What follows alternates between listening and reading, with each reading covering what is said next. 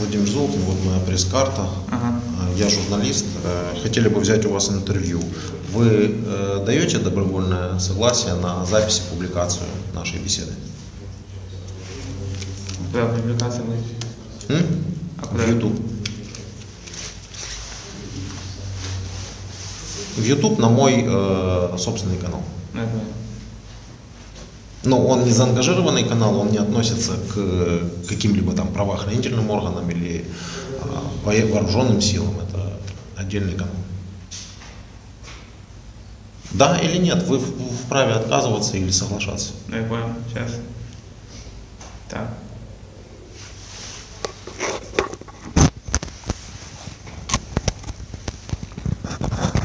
А что рассказывать надо будет? Все, что вы захотите рассказать. Давайте, ладно, да. Даете право. Да. Представьтесь, пожалуйста, как вас зовут. Э, На все вопросы, которые вы не хотите отвечать, вы можете не отвечать.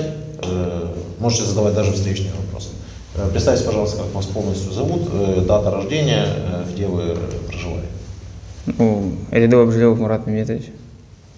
Еще раз можно? Обжилев Мурат Меметович. Обжеливов.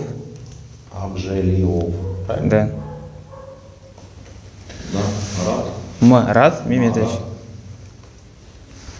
И отчество. Меметович. Через Т или через Д?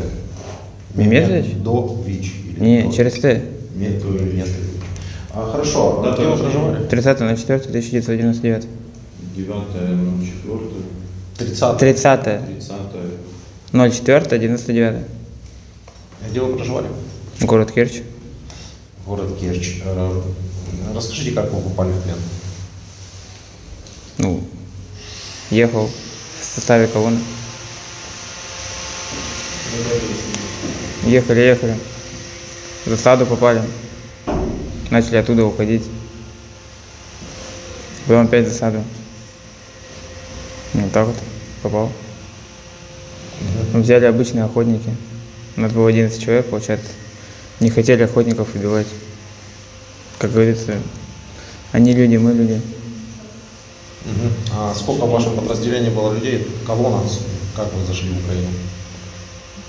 Ты не знаешь, сколько людей было. Ну, в моем вот БТРе было лично 9 человек.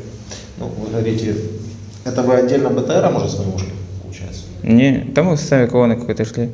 Ну, а как вы попали, вот вы говорите, в засаду, и на вас вышли охотники, как это произошло? Ну, в составе колонны шли сперва. Поступила команда. Получается, зашли всего в этот, в город. Ну, как мы поняли, нас люди просто пустили. Что за город? Баштанг? А, Впустили в баштанку и просто начали так в кольцо брать. В этой баштанке что делать? Начали оборону за- занимать везде, где можно было. Держали, держали оборону. В итоге нашего старшего машины, командира отделения, подстрелили. Уже как бы, что делать? Все начали уходить, и нам пришлось. Ну что мы там, 9 человек, ну, я считаю, что 8. Один подстреленный, девятый. Что мы сделаем -то? Начали тоже, БТР бросили. Прыгнули, там какая-то пушка была. Мы на нее и за город уже уехали. Потому что начали со всех щелей лезть. Кто щелей? Ну, вражеские люди. Вражеские. А как Ну, вы как еще назвать? э, Вот, э, э, кто, кто в этой ситуации выступал агрессором, на вашем, по вашему мнению? Да я сам не знаю. Вы э, в какой части служили? Как ваше подразделение называется? Ну, в разведбате я был. АВЧ? 126 126-я? Да. Это в каком городе она была базировалась? Симферополь. В Симферополе. А Вы зашли, ну, для нас э, Симферополь это как бы аннексированная территория, по сути, часть Украины, но э, вы для себя же, наверное, понимали, что вы зашли на территорию суверенного государства. Ну, потом, да. Потом, да. Так кто в этой ситуации выступал агрессором? Мирные жители, которые, ну, жители, которые брали вас в кольцо, или все-таки вы, которые зашли на БТР? Это, наверное, блин, ну, как я думаю, что мы, наверное. Понял.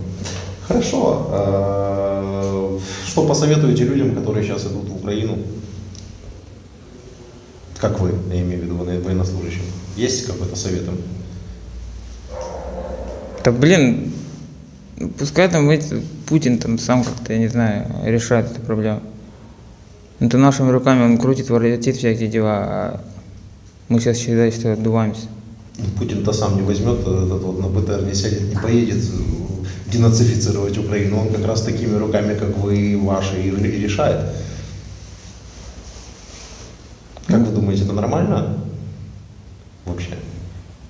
Ну, вся вот эта вот история, что вы вот человек 99 года, вас сюда прислали, вы не поняли зачем, как я понимаю, Ну да, потому что истории все почти одинаковые и попали в плен, и вот сейчас вот здесь вот находитесь. Это нормально, что вот, вот руками таких, как вы, Путин пытается решить какую-то свою задачу.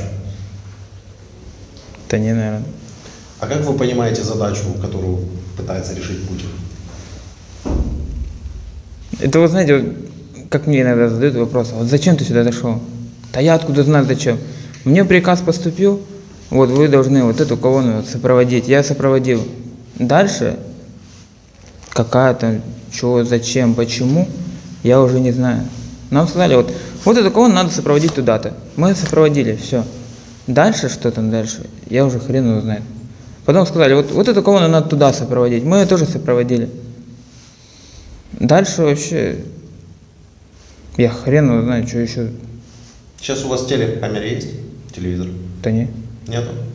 Доступа к информации, ну не, не знаете, что у нас произошло вообще в Украине за последнее время? Да слышно там что-то, перемога какая-то, еще что-то. Перемога. А что, куда перемога, хрен его знает. Перемога? Да, Я вроде. не знаю в к- Что вы имеете в виду м, под этим словом? Ну, просто очень много людей мирных погибло и очень много зданий, э, домов мирных разрушено. Вы знаете об этом? Да не. Есть что-нибудь добавить к вышесказанному? Да ничего. Я благодарю вас за интервью. А вы звонить будете? Нас есть Да. мы можем уже Как бы, да, человек уже сказал, что он не хочет